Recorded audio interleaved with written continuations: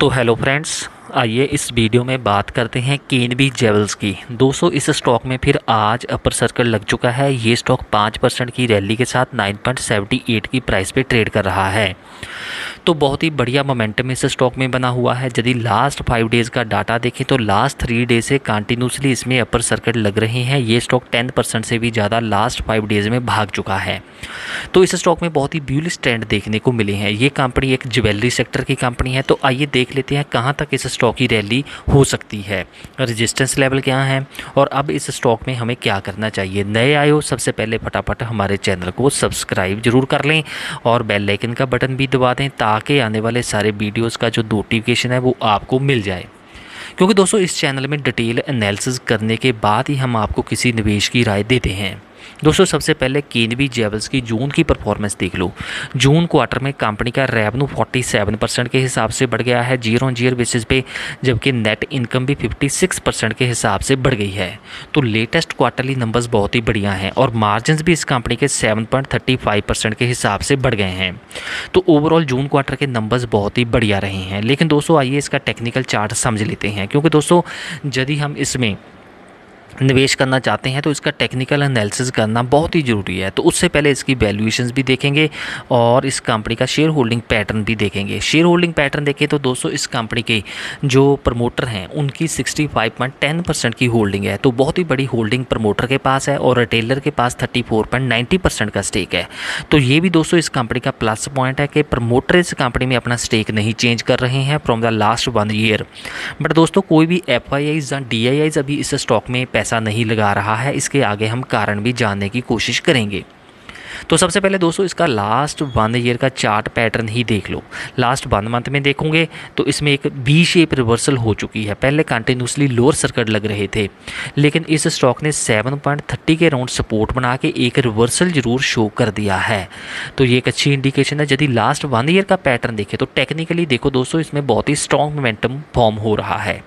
क्योंकि दोस्तों, यहाँ पे देखो, इसके जो चार्ट के टॉप्स हैं, यहाँ तक तो इसके चार्ट में कोई वेरिएशन नहीं देखने को मिली थी। लेकिन दोस्तों, उसके बाद देखो ये जो स्टॉक है, एक चैनल फॉर्मेशन जो है वो बनाता दिखाई दे रहा है। यहाँ पे देख सकते हो, इस चार्ट के जो टॉप्स हैं, वो इंक्रीजिंग ट्रेंड शो करते दिखाई दे रहे हैं। यहाँ पे देखो, पहले इसमें रैली हुई तो यहाँ पे इसका जो है वो टॉप बना। फिर इसमें गिरावट हो गई, फिर इसमें रिवर्सल हुई और यहाँ पे आके फिर इस स्टॉक में गिरावट हो गई। तो ये जो स्टॉक है, एक ट्रेंड लाइन को फॉलो करता दिखाई दे रहा है। यहाँ पे देख सकते हो, ये स्टॉक की इसकी ट्रेंड लाइन है और कंटिन्यूसली पॉजिटिव मोमेंटम है। हाँ वॉलेटिलिटी ज़रूर ज़्यादा है, क्योंकि गिरावट होती है तो ये स्टॉक सपोर्ट बना के रिवर्सल शो करता है। अब इस स्टॉक में बहुत ही बड़ी रिवर्सल हुई, लेकिन यहाँ पर भी इस स्टॉक ने अपना जो लॉन्ग टर्म का जो सपोर्ट था, उसको डिफेंड कर लिया है और यहाँ पर रिवर्सल शो कर दिया है। तो आने वाले टाइम में ज़रूर दोस्तों, ये स्टॉक जो है अपने हाई ट्रेंड लाइन की ओर जाता दिखाई दे सकता है। लेकिन दोस्तों, अभी शॉर्ट टर्म में इसमें वॉलेटिलिटी रह सकती है, क्योंकि इसका एक कारण है कि स्टॉक की वैल्यूएशंस बहुत ज़्यादा दिख रही हैं। पीई मल्टीपल्स e अभी 225 के राउंड चल रहे हैं। तो दोस्तों, देख सकते हो हाई वैल्यूएशंस होने के कारण इस स्टॉक में थोड़ी वॉलेटिलिटी और इस स्टॉक में आपको आने वाले टाइम में गिरावट भी देखने को मिल सकती है। कभी गिरावट होगी, कभी रैली होगी। ओवरऑल लॉन्ग टर्म का चार्ट पैटर्न इसका बहुत ही बढ़िया है। तो जैसे पहले भी हम आपको बता चुके हैं, इस स्टॉक में ओवरऑल चार्ट में रैली ही देखने को मिली हुई है। पहली इसकी जो रजिस्टेंस लेवल थी दैट वाज अराउंड नाइन उसके बाद गिरावट के बाद फिर एक रिवर्सल हुआ, फिर इसने 14.53 के राउंड अपना रेजिस्टेंस बनाया। उसके बाद फिर इस स्टॉक ने 15.69 का रेजिस्टेंस बनाया। तो आप देख सकते हो इसके रेजिस्टेंस लेवल जो हैं, वो कंटिन्यूसली इंक्रीज होते दिखाई दे रहे हैं। तो पहला रजिस्टेंस लेवल इसका जो है, वो पार हो चुका है। इसमें एक बढ़िया मोमेंटम फॉर्म हो चुका है। नाइन पॉइंट ट्वेल्व के राउंड इसका जो रजिस्टेंस था, उसके ऊपर एक ब्रेकआउट आ चुका है। दूसरा रजिस्टेंस लेवल इसका फोर्टीन पॉइंट सिक्सटी नाइन के राउंड रह सकता है।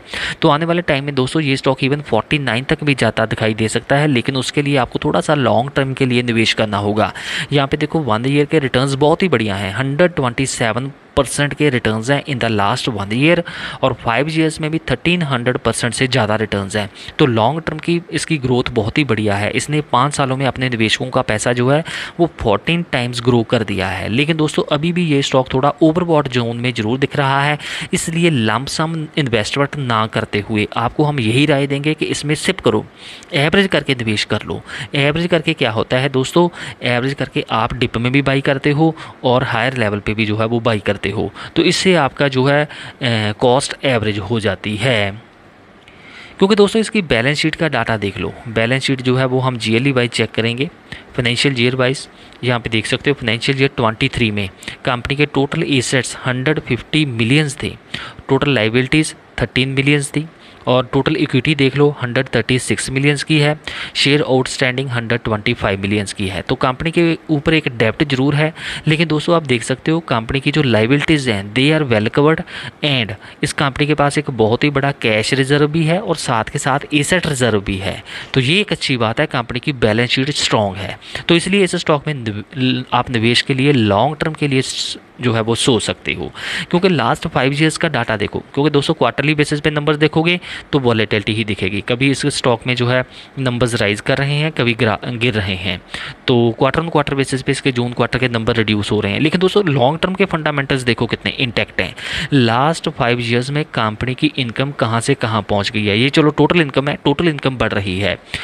ये एक अच्छी इंडिकेशन है कंपनी का बिज़नेस एक्सपेंड हो रहा है कंपनी का रेवेन्यू बढ़ रहा है और इसके कारण इस कंपनी की बॉटम लाइन में भी इम्प्रूवमेंट देखने को मिली हुई है, जबकि मार्जिन में कोई चेंज नहीं है। तो कंपनी अपने बिज़नेस को एक्सपेंड कर रही है, ये एक अच्छी बात है। इसलिए अब नेक्स्ट सितंबर क्वार्टर पे फोकस करना होगा, क्योंकि दोस्तों ज्वेलरी सेक्टर की कंपनी है, आने वाले टाइम में इस कंपनी की डिमांड बढ़ेगी। सितंबर में क्या होगा? क्योंकि दोस्तों क्या होता है, सितंबर से जनरली क्या होता है कि जो फेस्टिवल सीज़न है वो शुरू हो जाता है मैरिज सीज़न शुरू हो जाता है फेस्टिवल सीज़न हो जाता है, वहाँ पर जाकर ज्वेलरी की जो डिमांड है वो बढ़ जाती है। तो नेक्स्ट दो तीन क्वार्टर इस कंपनी के लिए बहुत ही बढ़िया रह सकते हैं। इस बार कोविड भी नहीं है और इंडियन इकॉनमी में भी अच्छी रिकवरी देखने को मिल रही है। तो आने वाले टाइम में इस स्टॉक में अच्छे ग्रोथ के चांसेज हैं। हाँ ये ज़रूर है कि आपको थोड़ा सा इस स्टॉक में एवरेज करके निवेश करने की हम राय देंगे। तो जो रजिस्टेंस हमने आपको बताया है, अब नेक्स्ट इसका जो रजिस्टेंस है वो टेन के राउंड एंड फोर्टीन के राउंड आपको देखने को मिल सकता है। सो लोअर सपोर्ट लेवल जो हम आपको बता चुके हैं सेवन पॉइंट सेवेंटी थ्री का, एक बहुत ही स्ट्रॉन्ग सपोर्ट जोन है। यहाँ पे देख सकते हो, यहाँ पे भी इसने सेवन का सपोर्ट बनाया, यहाँ पे फिर इस स्टॉक ने सेवन का जो लेवल है, उसको डिफेंड करते हुए एक रिवर्सल शो कर दिया है। तो ये एक अच्छी इंडिकेशन ज़रूर है। आने वाले टाइम में ये स्टॉक इवन अपने हाईएस्ट लेवल को भी ब्रेक कर सकता है, लेकिन उसके लिए थोड़ा सा आपको लॉन्ग टर्म पैटर्न लेके चलना होगा बीच बीच में वॉलेटिलिटी भी रहेगी।